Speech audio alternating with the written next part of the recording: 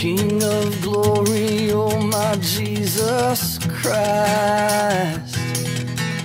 Free me from what keeps me from your Chapel's extremely diverse. We have people of every color show up, every age show up, um, every type of cultural background show up. There's people who worship in different ways every Wednesday morning when we have chapel. Who sing, who stand there because they're not into the whole singing. There's people that are so diverse in, in every way and it's just extremely, it makes you extremely thankful to be at a campus that has so many diverse cultures all mixed into one place. And chapel is one of the main places that we see all the diversity.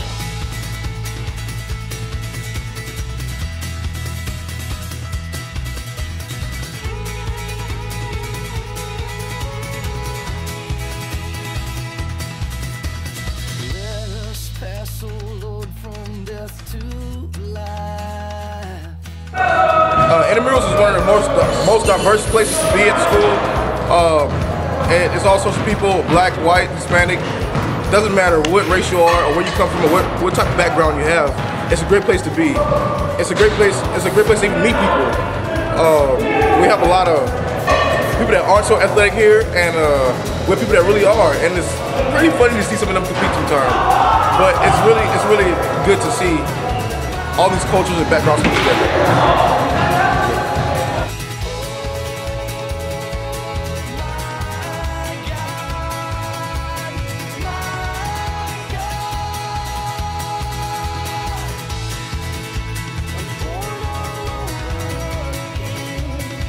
Some of the greatest uh, times that I've had here on campus is just hanging out in the lobby.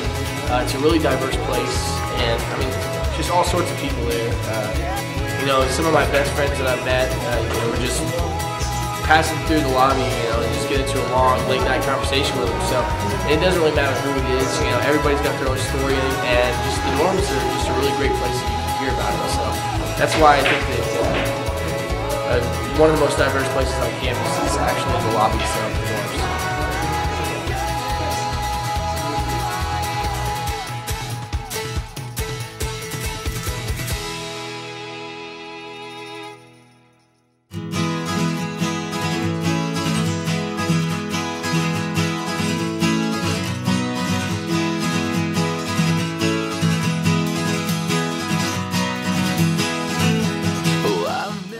Cafeteria is definitely the most diverse place on campus. and Everyone has to eat, so everyone has to come here, no matter what race, no matter whether you're a teacher, student, everyone has to come here, eat, and uh, all sit together at the table.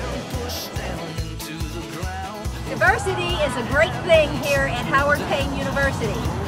Doesn't matter what age you are, from young, right out of high school, all the way up to 65. Howard Payne is a great place to come, there is no age limit for coming back to get your degree. So no matter what age you are,